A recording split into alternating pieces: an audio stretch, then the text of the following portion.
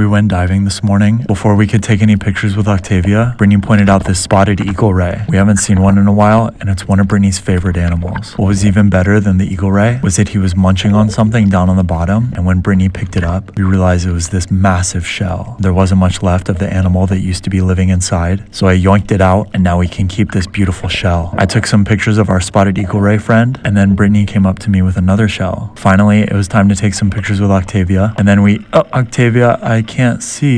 Oh my gosh, she's sucking onto my face. Okay, that's all the stuff we saw. Bye.